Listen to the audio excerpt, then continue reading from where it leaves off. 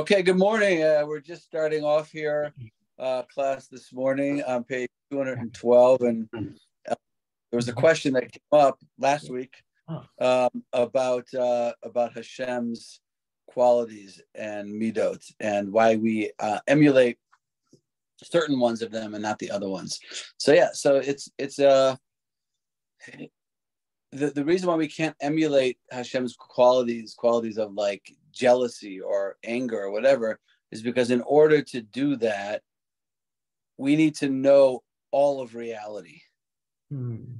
All of reality as it is now, but all of reality, and not just all of reality as has transpired since the beginning of time, but all of reality as it will transpire until the end of time. Hmm. Right? Because there's just too much that um, we don't know, meaning 99.9999% of everything we don't know. So to be able to be angry or to be jealous or whatever, the only way you could do that fairly and honestly is if you know all the details and you have all the facts, which mm-hmm. we never ever do. That's great. Thank you. But when it comes to Hashem's good middos, there we're asked to, you know, get, even though we don't have all the facts, assume positive ones, attribute positive uh, motivation to people's well-intended motivations. And the truth is that most of the time people are well-intended.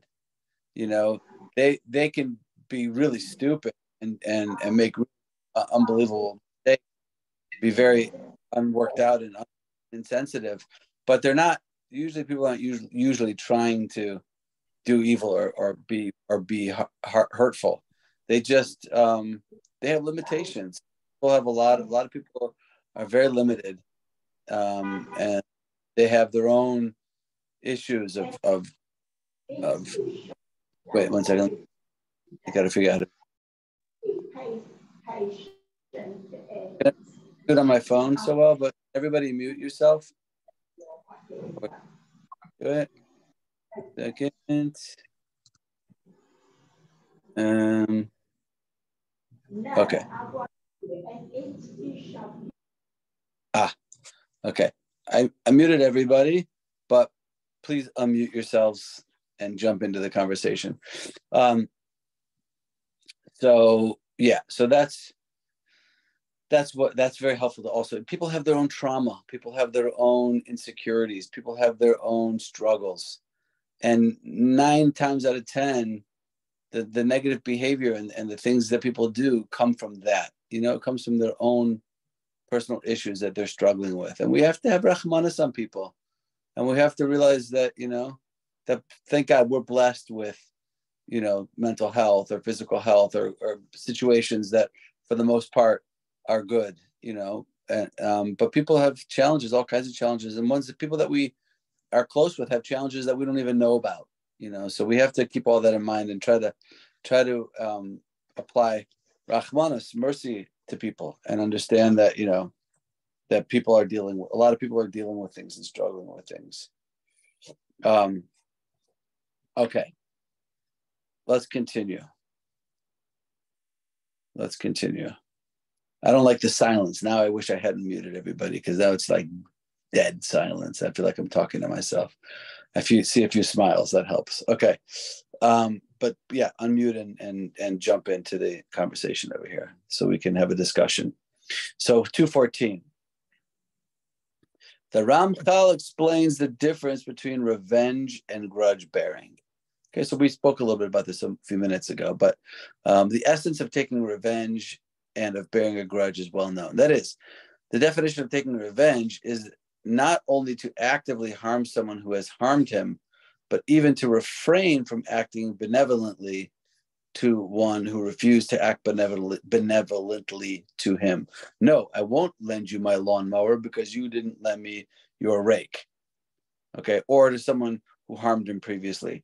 And the definition of grudge bearing is to mention at the time that he's acting benevolently to one who had previously harmed him or refused to act benevolently to him some allusion to the harm that he did to him. Oh yeah, I'll lend you my lawnmower. I'm not a I don't not lend out my tools like you. I'm not, you know, greedy like you. I lend out things. Here, take my lawnmower. Okay, so that's the difference between um, bearing a grudge and taking revenge, as we said. They're similar, obviously, but there's a, a slight difference. Which one's worse, by the way? What do you think? What's worse? No, I won't lend you my lawnmower because you didn't lend me your rake. Or, sure, I'll lend you my lawnmower. I'm not like you who doesn't lend out his tools. Which one's worse? I guess on one hand, I don't know. I don't know if there's an answer, but on one hand, I'm thinking that it's it's you know the the, the grudge is better because you are giving him the tool, right? You're you're giving him the tool, so you're doing the kind act for him. You're just doing it with an attitude, as opposed to the first case of revenge, where you won't do the kind act. But on the other hand, the revenge case, at least you're not like you just say no, and you don't necessarily add the commentary of you know I'm not like you. I lend my tools out. So they both have pluses and minuses, I guess. They're different. They're different, subtly different uh, issues. Okay. David, can you hear me? Yes. I I would take the other side of that the decision, which is more lethal on the one hand, you are criticizing the behavior. On the other hand, you're criticizing the essence of the person. I'm not like you is more intractable than you did this to me. I'm going to do the same thing to you. So you think that's worse because it has that additional component of a direct verbal attack on the person themselves. Yes. And right. And I and I think at that point, like do you even want his rake, his lawnmower? You know, when he says it to you like that, oh, sure, you could take my lawnmower because I'm not like you. I lend my tools out. At that point, like, I don't even want the guy's lawnmower, you know? it also depends upon whether or not you know whether he owns a gun. Yes, or two in some cases. That was an attempted humor, by the way. I got it. I got it. That's right. I don't want public authorities at my doorstep when I go home. well, we are we are being recorded, so you have to be careful. Um, okay, fine. Let's carry on. Page 215. Ramchal vividly describes how the evil inclination seduces the person to take revenge and bear grudges, and the Torah's response to this seduction. Just want to remind you, as we said, you know, a few minutes ago, um, the reason why these are so difficult. And the reason why the Ramchal singles out these among all of the possible things he could have mentioned in the Torah um, and applied the principles of Nikius to, he singled out specific things that are really difficult and challenging because of the resistance that we have from our own internal negative voice, the Yetzer Hara, the evil inclination. There are certain things about human beings that, that are so deeply hardwired and ingrained into our psyche and who we are that they certain things just become incredibly challenging right? This is this is such a hard thing to do. When somebody insults you or minimizes you or embarrasses you or does something in some way that just cuts your ego and your and your sense of self it is a a monstrous task. The torah is is requiring and demanding superhuman angelic response responses from us because the Yetzer Hara is so strong it's such a it's such a powerful force within us to respond the wrong way in these situations. Obviously, a person who has a stronger sense of self-worth, person who has developed and worked on their um, you know self confidence and their and their feeling of self-worth independent of um, other people and the praises and the accolades and the whatever we may get from other people to build up our self confidence. But they've developed true self worth, which is not contingent, not connected to what other people say or think about us. So a person who's reached that or worked on that and developed that within themselves through therapy or through their own, you know, hard work, so they're going to be able to handle these types of situations better. Okay? Because they're they've learned through their own effort and their own work not to take things personally, not to uh, you know see that person's comments as a as a, as a direct diminishment of who I am, but rather more of a reflection of some shortcoming that they have. Okay, but still, nonetheless, either way, it's hard. It's really hard. So the Ramchal continues, says, since the evil inclination constantly inflames the heart of a person about past wrongs done to him, and always seeks to preserve at least some trace or some recollection of the matter. We never truly let the, let these things go entirely. And if it is unable to preserve an, an intense recollection, the Yetzer Hara will it will try to preserve at least a minor recollection, right? The Yetzer Hara will try to get you to hold on to it at least some way. It's still there. I'm over it, but I still remember it. I haven't completely erased it from my mind and my heart. Ideally, I would sit down with the person. I would say, I, I want to share with you. Just, I have to tell you this. I have to get this off my chest. What you said really hurt a lot. It, it really, it really made me feel bad, and it was really di- painful. And and I, it was really, I felt it was very not nice, and I just needed to tell you that. Okay. And now that I've told you that, I, I ideally I've er- completely erased it from my mind and my I, I, shared it, I got it out. Like Alan was saying, don't hold it in. Torah doesn't want you to hold it in. I let it out, I shared it, but now let it go a hundred percent. That's what the Torah expects and demands and require requests. Absolutely. But the Torah is not so quick to uh, give you that gift of total release and forgetful forgetting the ex- experience it will either prevent it will either pervert, preserve it intensely or at the very least it will try to preserve a minor recollection okay? So that's why the torah found it necessary to counter this incitement. It's amazing. Amazing. That's, that's the most amazing sentence. The hashem created us with a yetzer hara which we can talk about in a minute. We could take a step back and ask why which we will, we will in a second. But for now, Hashem created us with a Yetzer Hara, a negative drive, an intensely negative voice inside of us. And then he gave us the Torah as the antidote to the attempt and the uh, the conniving uh, machinations of the Yetzer to bring us down and to destroy us and to, to take away our joie de vie and everything that's good in our lives. The Torah gave us the remedy for that.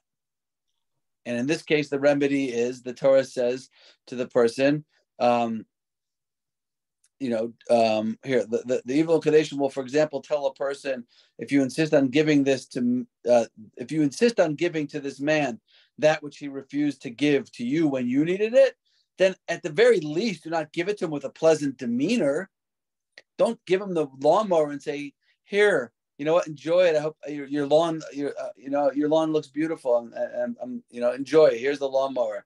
Whenever you're done, you can bring it back." No, don't do that. You get you can't give it to them with a pleasant demeanor, or if someone did not merely refuse to help you but actually caused you harm, evil inclination might uh, contend if you refuse to act maliciously to him, then when he asks for your help, at least do not render him a significant kindness. But okay, fine.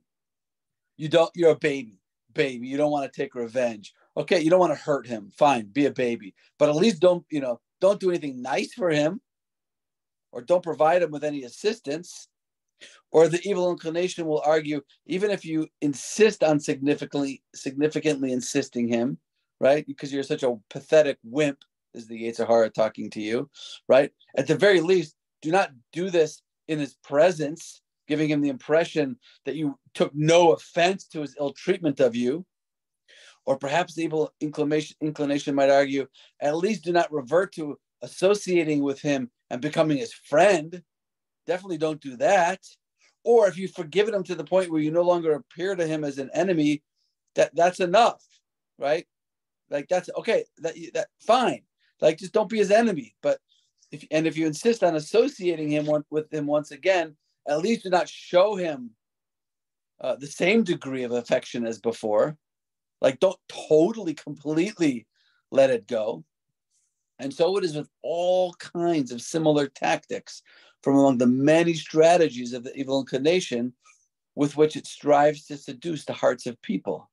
Therefore, to counter all of these arguments, the Torah came immediately after the verse prohibiting revenge and bearing a grudge and set forth a rule that is all encompassing.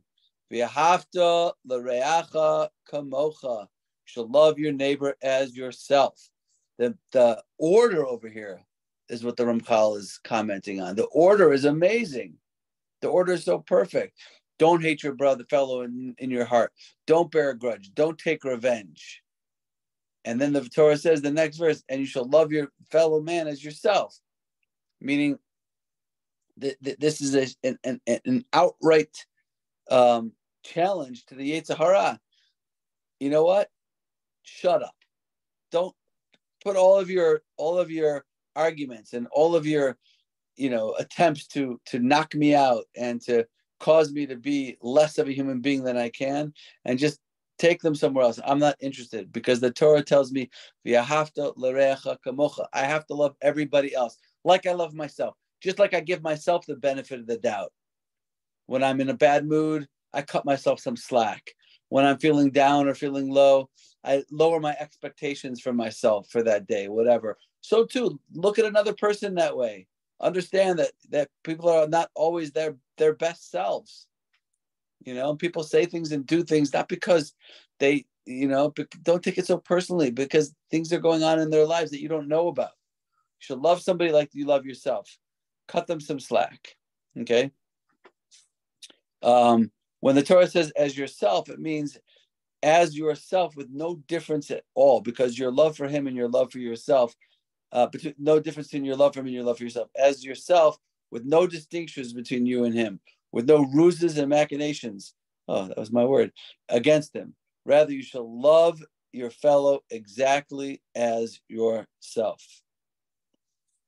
I want to read the note down here for a minute. This verse does not merely define the extent of the requirement to avoid revenge and grudge bearing, but actually provides a tool with which to do so. Right? This verse is not just telling us how far we have to go in overcoming our tendency to bear grudge, but it's actually helping us. It's actually teaching us a trick, which is what? If one comes to truly love your fellow as yourself, he will not be tempted to seek revenge or bear even the slightest grudge for any wrong that his fellow may have done. The Yerushalmi, that's the Jerusalem Talmud, explains this by means of the following parable.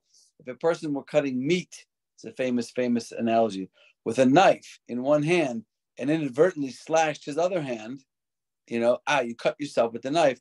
Would you take revenge on the offending hand and slash it in return?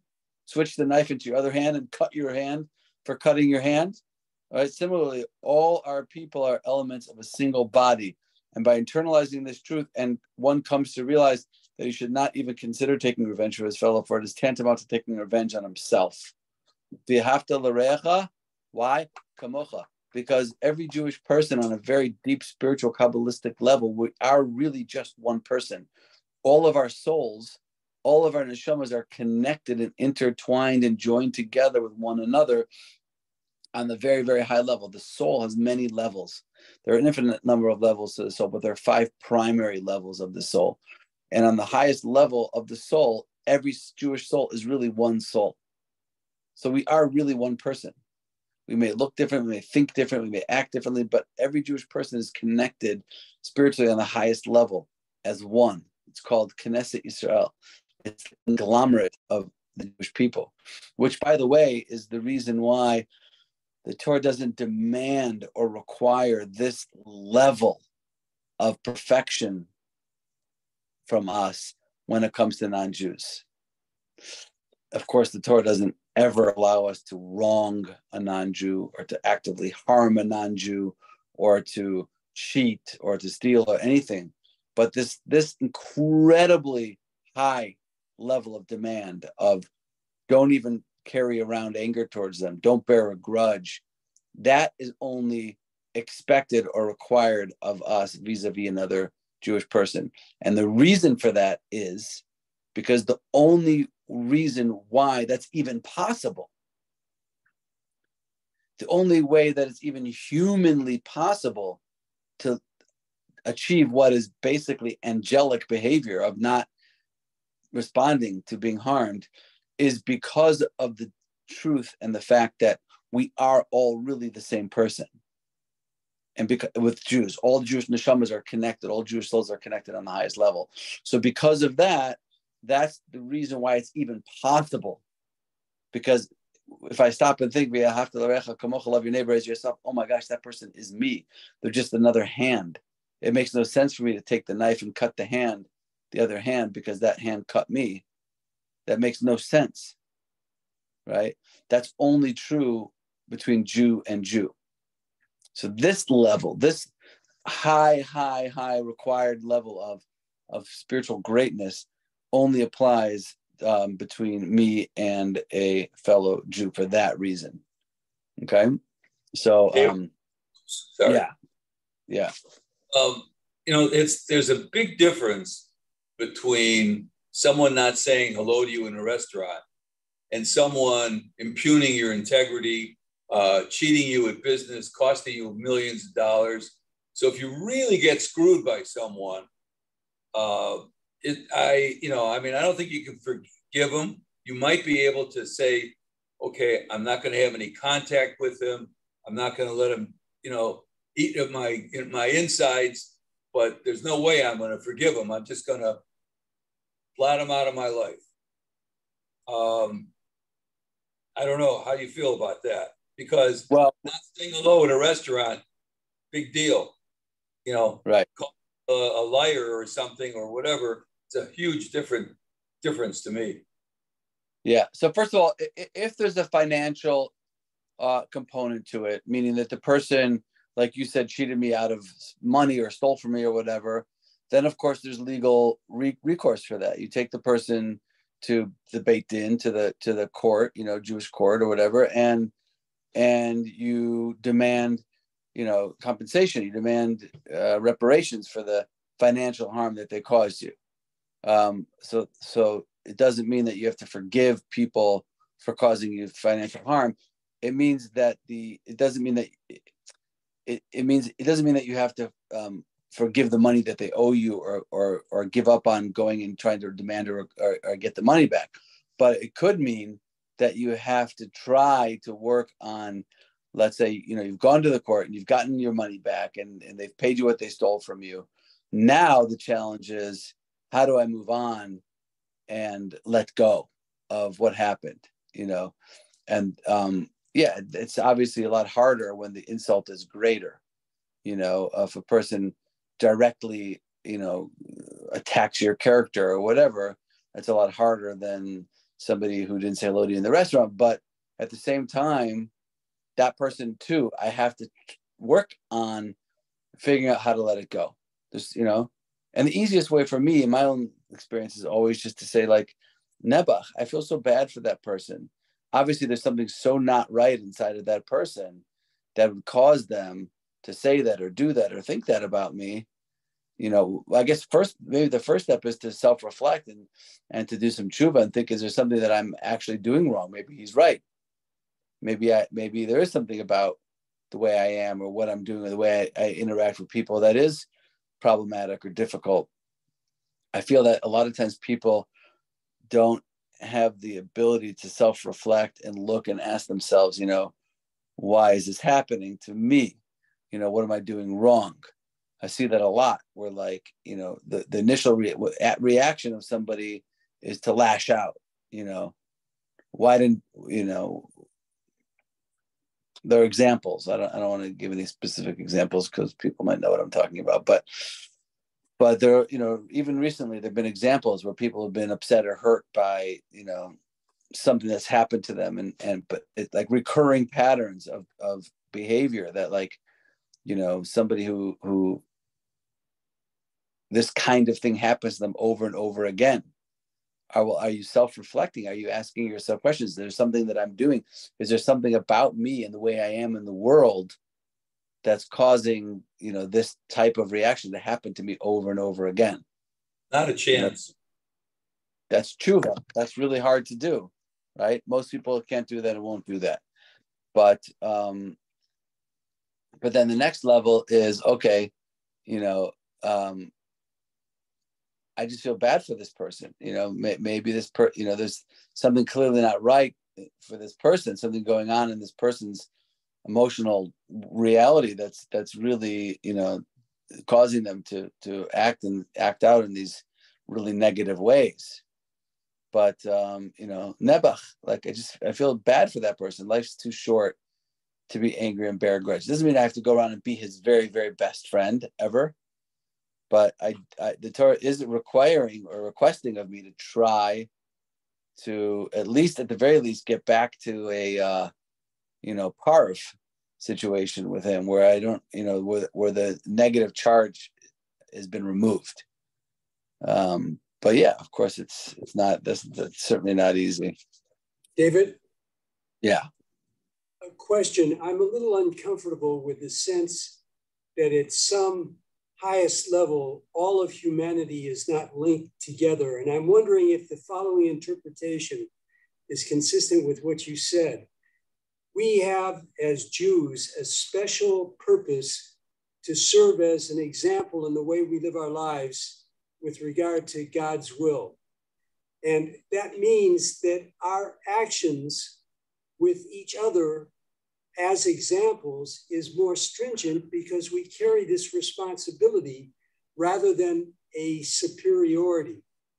So that we impose a higher level of expectation for Jews among Jews than we might for Jews with Gentiles because of that purpose, that responsibility that we have as Jews.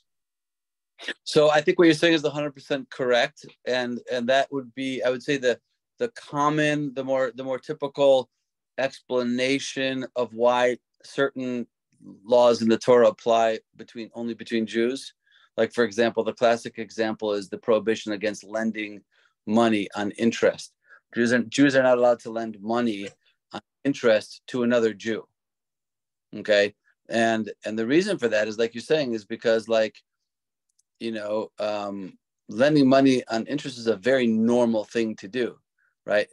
If you want me to lend you money, that means I have to take my money unless it's liquid and doing nothing. But usually people don't have keep a lot of money liquid. They want their money to be doing something. So it means I'd have to take money out of some investment, which at least theoretically is is is making some money, and I'm going to lend it to you. So at the very least, I should be able to get the interest from you that you know I'd be I, I could be getting if I have money in a CD or something, right? But the Torah says no. When you lend money to another Jew, you have to lend it to them interest free. So that's not a requirement that's placed upon us when we lend money to non-Jews. Only when we lend money to Jews, and the reason for that is because the expectation is higher, like you're saying. That's the, the expectation that we treat each other in a beyond the letter of the law type of way is um, is in fact like becomes the letter of the law when it comes to between Jews and Jews. But it's really objectively it's beyond the letter of the law. It's just that we're expected to do beyond the letter of the law when it comes to between Jews and fellow Jews. That's that's right. So what you're saying is totally true. I was just saying in addition to that, I think it's there's a spiritual reason for it too, which is that all of our neshamos, all of our souls are are connected to one another to form one body and one unit. And therefore, on the deepest, deepest spiritual level, you and I are really two, just two cells in the same body. And and therefore, you know, it doesn't make any logical sense to cause harm or to do anything other than to support another Jew because we're really just one, we, we form one body together. Okay, this is a good place to stop. Um, and uh, we will continue next week. For the guys who are here from the Shiva, I'll send out a. I'm going to send you a message later about tomorrow. I have a, the little conflict with tomorrow because tomorrow is Yom Yerushalayim, Jerusalem Day, and um, there are just there's a lot, a lot, a lot of activities going on in Jerusalem downtown, celebrating the unification of Jerusalem that are going to be taking place in afternoon and evening. And I and I don't know what, what is going to be expected of me. The kid, you know, all the kids are home from school and everything, so I have to see um, what's possible. So I'll, I'll send you a message later tonight or sometime to later today to let you know what's going on for tomorrow. Dave, uh, Dave are you planning to teach next Wednesday in light of the uh, fundraiser? Um, probably, yeah. Good. Hopefully, oh. you'll get rewarded with. Uh, yeah. Big- by the way, the, the the our annual campaign, our big annual fundraising campaign, um, is starting next week mm, on Tuesday at 11 a.m. Chicago time, and will go until Wednesday 8 p.m and it's our one fundraiser of the year where all donations that are given during that time are doubled by a group of matching donors who are who have agreed to match all donations made during that period of time so it's really like the the ultimate time to contribute and to help support the L'Chaim Center so that we can have the funds that we need to do all the amazing things that we're doing. Um, and that's like double the impact during those during those hours. So look out. You'll you'll get a you'll get enough emails from me. Trust me, emails, WhatsApps, messages. Um, so you'll be uh, you'll be well informed about it. But keep an eye out for that. But uh, yeah, I think we'll have class. That should be fine. Have you published information about the link that we can use in our appeal emails that we send out? I I've sent that to you by email. You should have that in your uh, check your emails. You should have. I've been the last couple of days, yesterday and today. I sent out um, all of the information for the ambassadors. If you don't see it, Les, let me know and I'll and I'll make sure you. But you should. It should be. Thank you. Okay. Okay. Thanks, everybody. It's fun. Thank you, Rabbi. Thank you. All the best.